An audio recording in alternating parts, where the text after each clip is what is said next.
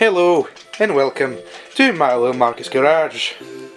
Today is a very important part of our Honda Shadow project because today we are starting painting with the paint gun, like proper paint gun. So as you can see Marcus is now mixing the delicious black paint and uh, this is the first time we are testing this paint out so also the new paint gun uh, so you know in case there is something wrong with it we are definitely not going to start off with our Honda Shadow parts. So what we will start off with are Marcus's Derbi parts because it's less valuable and also it needs to be painted. So right now we've sanded this part and uh, the other part where that is somewhere I think it's that one. Yeah. Maybe not. Yeah this one. There we go. This part and this part. And right now we're giving a nice mixy mixy to the uh, paint. And then we're going to start uh, setting up the paint gun checking the pressure stuff like that. Uh, so I will bring you back when we've done that also. Shit the battery is getting low. So I'm not sure if we'll be able to record all of this but we'll try let's go. Okie dokie. So the first two part pieces of the fairings from the Derbi have been painted. This is the first layer of paint but I honestly think that it might be not necessary to add another one because at least for now paint is looking very sleek and the misperfections that you perhaps see like, like right in the middle of the big fairing uh, that's not paint's fault that's just a an actual damage mark to the to the fairing. Um, unfortunately I will have to do like very short clips from this at least today uh, mostly because I am extremely low on battery.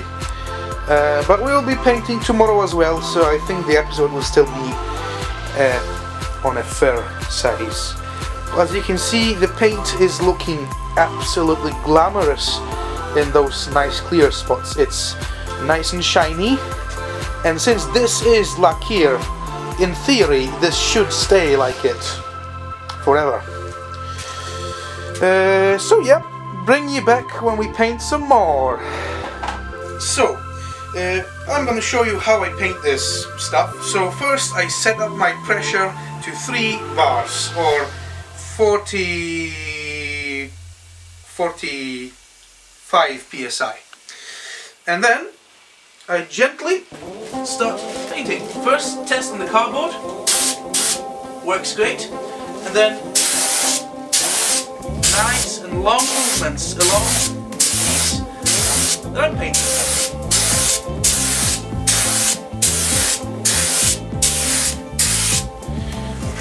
change direction.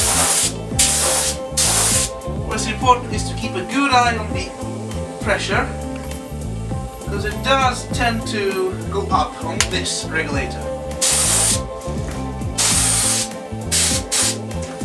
And then just gently cover all the surface with paint. Also remember to, oh, well, remember to just keep a good distance with the nozzle in order to avoid overblow because the paint gun does have quite a lot of pressure in it. As you can see it's moving the fairing just from the pressure of the gun and that's because it's, a, it's quite a lot of pressure, surprisingly a lot. And right now it seems to be uh, seems to be done. So um, this is how I do it. It's not super professional, but it's a decent level because I'm being taught by a, like an actual painter. So um, now I just go ahead and paint the last fairing and then we are done with it. Welcome back. This is the next day. As you can see, the weather is absolutely beautiful. We've got blue skies, lots of sun, although it's not super warm now, or yet. It's getting the, the spring weather is finally coming here. So what we are going to do now is um, start disassembling all the parts from the shadow that need to be painted and those parts are the rear fender, front fender, the tank and those tiny covers like one of two of those that you know the black thing over there so yeah that's what we are going to do now. And in addition to that we're going to be putting the exhaust uh, on the Derbi because as you can remember from the last episode we've painted it. And um, now it needs to warm up because it's hot paint so it needs heat to properly well dry. So yeah let's get straight into it I will bring you back when we screwed those things apart because you've already seen how to do it so there's no need to show it twice right? Let's go. Two hours have passed. We've been prepping those covers. As you can see they're sanded now so they are ready for paint. I used the last two hours on stripping the gas tank of all the stickers so it is now sticker free. It was a royal pain in the arse to, to get them off because they've been on there for 20 years and they didn't really want to come off. Uh, but as you can see here we've got two last parts of the Derbi as well which need to be painted something that we did not do yesterday. And uh, basically now it's just a matter of prepping all the parts uh, you know just lining up them in, uh, on the cardboard and painting them. So I'll bring you back when we are ready for paint or something. As you can see we've started painting the covers. Look at that fender. Look at that shine. This is before and this is after. I would call that a full success. And uh, yes indeed a full success because uh, we did indeed check up on the Derbi covers that we painted over yesterday and they are still looking magnificent of course the paint does lose a bit of that metallic shine due to drying but it still looks very nice I can actually go ahead and show you so these are the covers that I painted just now these are the covers from yesterday. I think they still look fabulous, although they do have some spots, uh, but that's just damage on the plastic itself. It's not the paint, so it really, I mean, it really looks wonderful. And today a really, or actually Marcus did a really, really good job on sanding these fenders, and holy moly, these look good.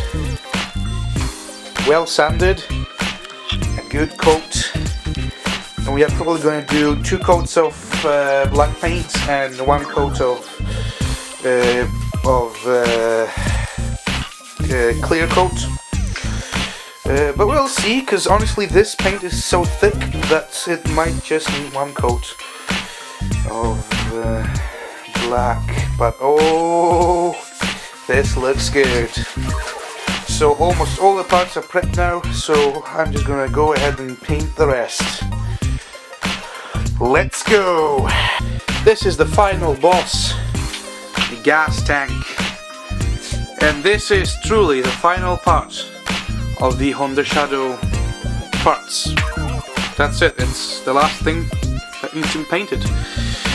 As you can see over here, first switch on the lights, there we go.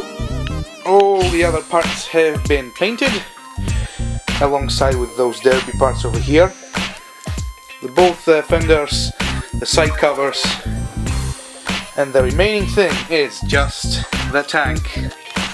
This is going to be quite hard, and well, just plain and simple, this is the hardest part to paint because this needs to be done perfectly in order for the bike to look properly. So as you can see we've plugged uh, both the holes. Um, there is some rust on it but it's been sanded down so this should be not that big of a deal. So final boss. Let's go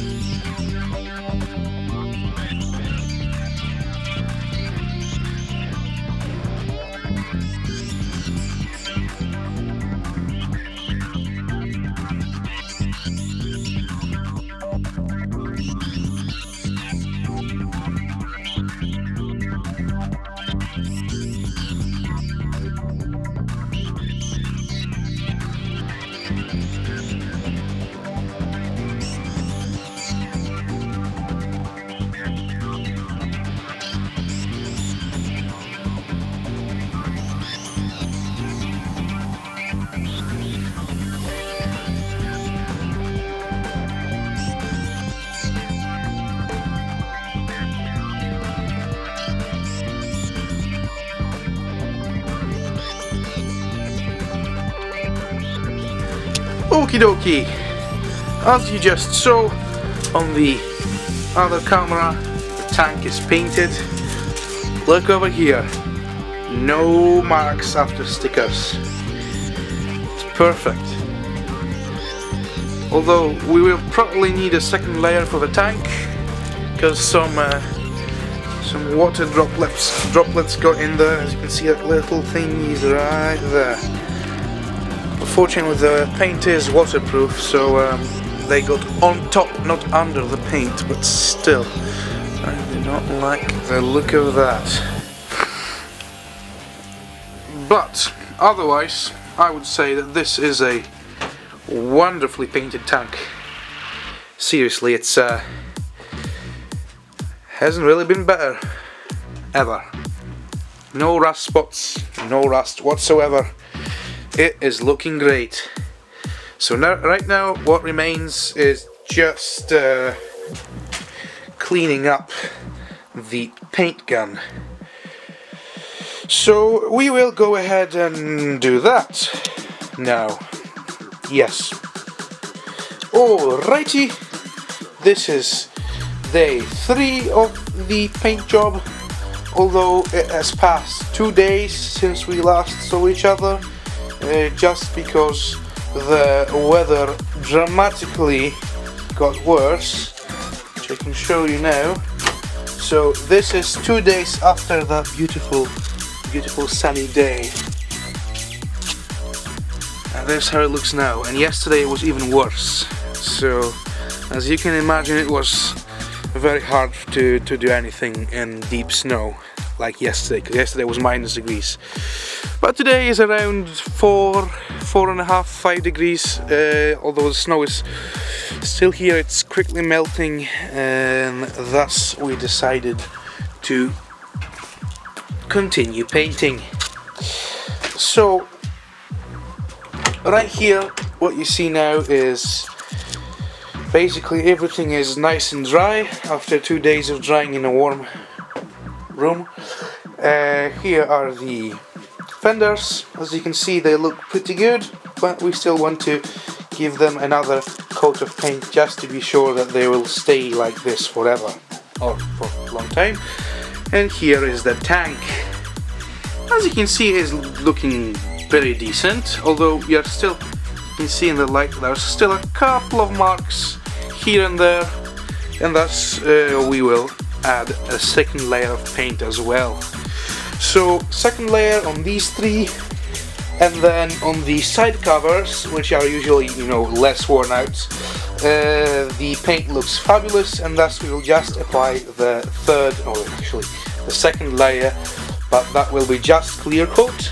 So here will be two layers of paint one black one clear coat and here will be three layers of paint since these parts will get more worn out. So two layers of black and one layer of clear coat so today we'll be applying the second layer of black paint and in two days time just to give it a nice you know time to dry we will apply clear coat and then we'll be done. So with that said let's get straight into it. Okie dokie. So the tank has been painted with the second layer, looking good.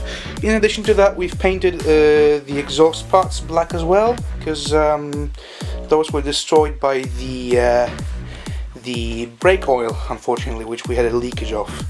And uh, here we put a clear coat of paint uh, on the side covers to make them nice and shiny.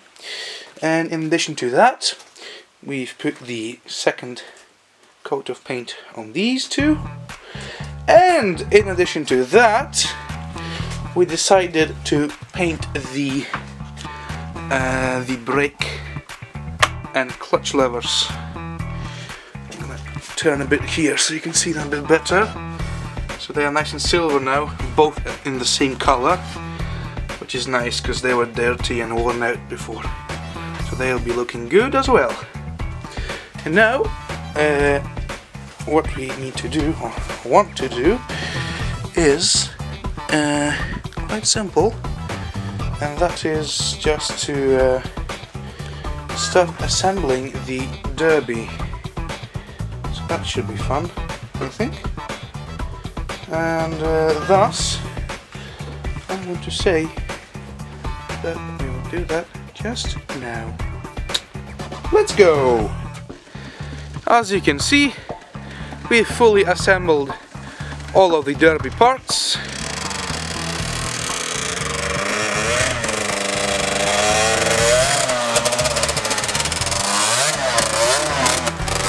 And it is looking pretty alright. So, right now, it needs to be washed because it's uh, it's been in the garage for a while and uh, well it's got some gunk all over it. So it's going to get a proper wash. So as you can see the engine's running fine and the covers they are looking very nice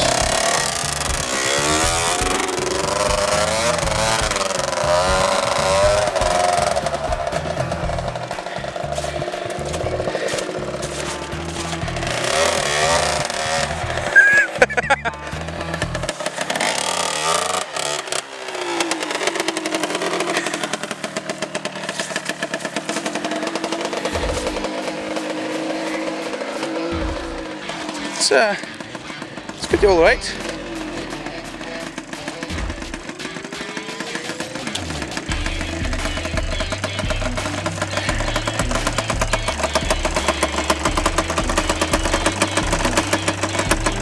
I would say that's a paint job well done.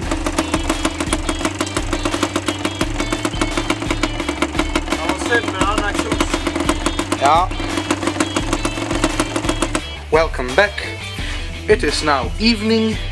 As you can see, we've um, went for a little trip with a Derbi and the BMW and did a photo shoot on the Derbi. Uh, and that's because we are selling it. So um, in the link down below, we'll have um, we'll have we'll have it for sale. So it's a decent price, as you saw. The parts have been properly painted, and uh, the bike is in generally pretty alright condition. So um, anyone who wants to buy it, go ahead. Uh, also, as you saw, second layer is on the tank. Uh, and we've added second layers to those covers over there because we found out that the clear coat that we bought is not working on with this paint it's uh, it's reacting so we needed to take that off and paint them with another coat so but this still should give us a quite decent amount of uh, good thick and wonderful looking paint.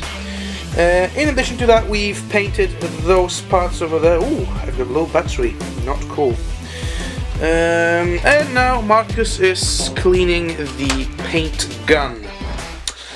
So, with that and the battery dying, I would like to just say, remember to give us a like, subscribe, maybe comment, and as always, keep on riding.